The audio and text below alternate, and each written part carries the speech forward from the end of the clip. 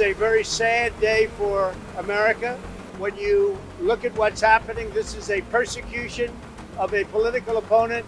This was never supposed to happen in America. This is the persecution of the person that's leading by very, very substantial numbers in the Republican primary and leading Biden by a lot. So if you can't beat him, you persecute him or you prosecute him.